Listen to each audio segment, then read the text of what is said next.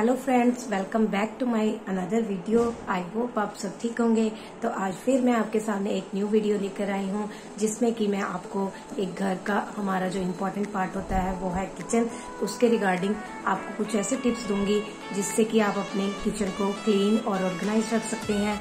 तो जैसे कि आप सबको पता ही है किचन जो है वो मोस्टली यूज़ होने वाला हमारे घर का पार्ट है।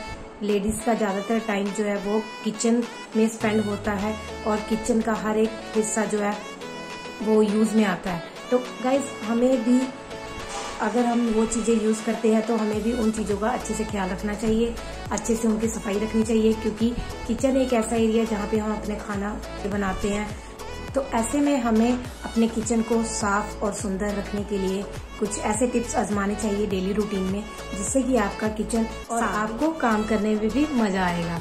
गाइज़ क्या होता है ना कि जब काम करने का मज़ा भी था तो तभी आता है जब हमारा जो एरिया है वो साफ़ रहे और सुंदर दिखे। और अगर आपका किचन साफ़ होगा ऑर्गेनाइज होगा तो आपको काम करने में भी मज़ा आएगा। तो आइए अब शुरू करते हैं। गाइस टिप नंबर वन है, हमारा गैस स्टोव जो है, वो क्लीन होना चाहिए। वीक में एक बार हमें इस गैस स्टोव को अच्छे से डीप क्लीन करना चाहिए। स्पॉन्ज से डिश वॉश की हेल्प से हम इसको क्लीन कर कर सकते हैं और फिर इसको माइक्रोफाइबर या कोई भी कॉटन का साफ़ जो कपड़ा होता है, हम उसे लेकर उससे अच्छे से वाइप कर सकते हैं। देन देखिए, मेरा जो गैस है, वो कितना क्लीन हो गया है। तो आप भी इसे यूज़ कर सकते हैं। टिप नंबर टू है, गैस की बैक साइड की वॉल जो है, वो आप हमेशा साफ़ करें। जब भी आप गैस को साफ़ करें तो एक बार दिन में वॉल के ऊपर गीले कपड़े से इसको अच्छे से साफ़ कर सकते हैं, ताकि ऑयल वगैरह हट जाए अच्छे से। टिप नंबर थ्री है ओवन की क्लीनिंग और उसके ऊपर जो भी सामान रखा हुआ है, हम उसको रूटीन में साफ़ करें। मैंने एक ट्रे ली है। ट्रे के ऊपर मैंने जैसे जो रूटीन में ज़्यादा यूज़ करने वाले बर्तन हैं, उनको रखा हुआ है। जैसे घी का डिब्बा हो गया, ऑयल का डिब्बा हो गया, नमक वगैरह।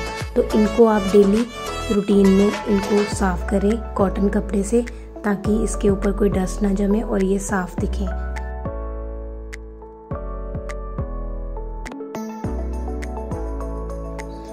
देन आप माइक्रोवेव की डीप क्लीनिंग ज़रूर करें वीक में एक बार। अगर आप ज़्यादा यूज़ करते हैं तो इसको, इनके बटन्स इसके अंदर जो भी डस्ट जमे हैं, आप उसको साफ़ करें। इसके बाहर जो ऑयल हमारे हैंड्स गंदे होते हैं तो इससे निशान लग जाते हैं तो स्पॉन्ज से आप इसको अच्छे से साफ़ करें, ताकि ये हमेशा नया जैसा दिखे और जल्दी ख़राब भी नहीं होगा।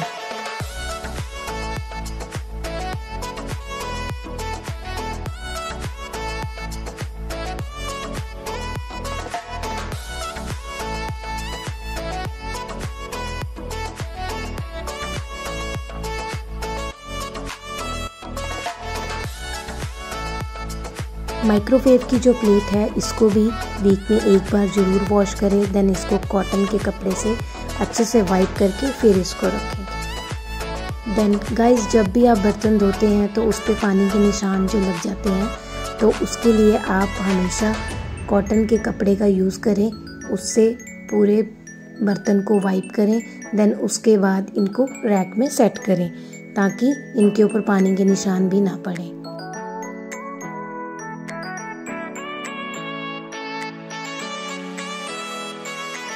गाइज़ ये जो आप देख रहे हैं, ये मेरे रैक के नीचे की शेल्फ है, जिसमें कि काफ़ी गंदगी आ गई थी। तो अगर आपके घर में भी ऐसी शेल्फ है तो आप इसको अच्छे से पहले वॉश करें देन उसके बाद कॉटन के कपड़े से इसको वाइप करके दोबारा से लगा सकते हैं।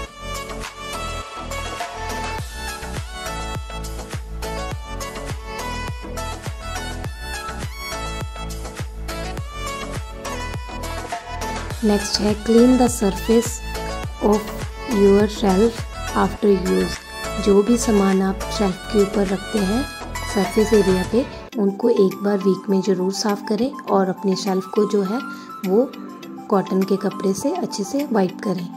गैस के नीचे से भी अच्छे से क्लीन हो, ताकि गंदगी जो है, वो जमे ना।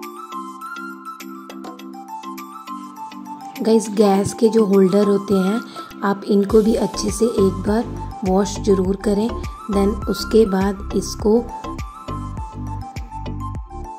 वॉश करने के बाद इसको एक कॉटन के कपड़े के ऊपर रखें और ताकि इनका पानी जो है वो अच्छे से निकल जाए और फिर आप इसको गैस के ऊपर लगाएँ। नेक्स्ट है sink cleaning gas sink area हमारा मोस्टली यूज़ होने वाला एरिया है, जहाँ दिन में बहुत बार गंदे बर्तन वॉश करते हैं।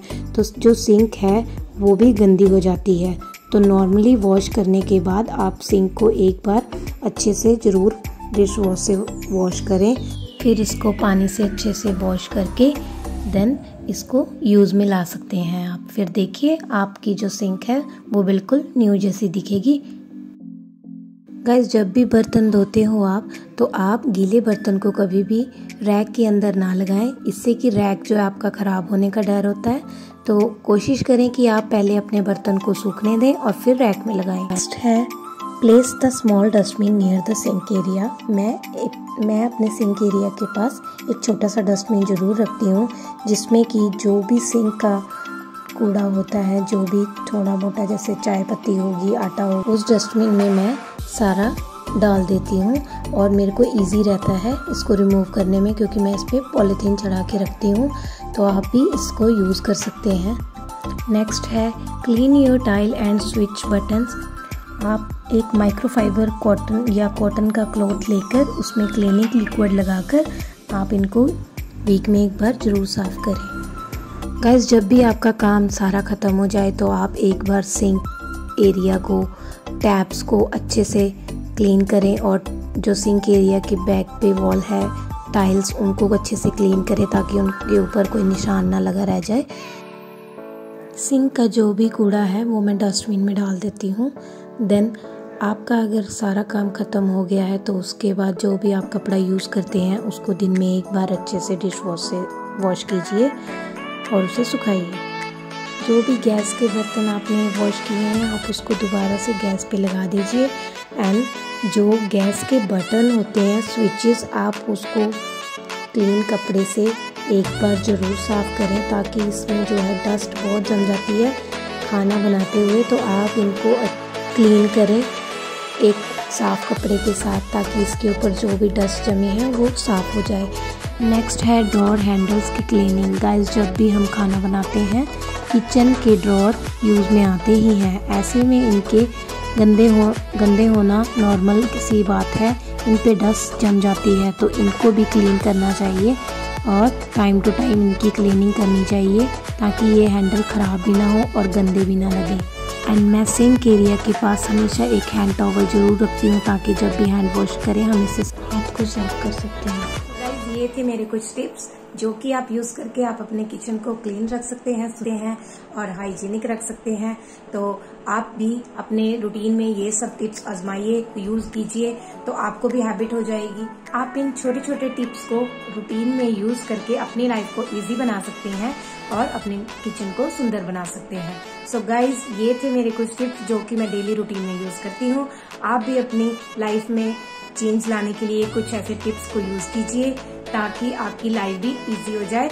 और अगर आप मेरे चैनल पे न्यू हैं तो मेरे चैनल को सब्सक्राइब अगर आपको मेरी ये वीडियो पसंद आई हो तो प्लीज़ मेरी वीडियो को लाइक कीजिए एंड शेयर कीजिए। तब तक के लिए बाय बाय टेक केयर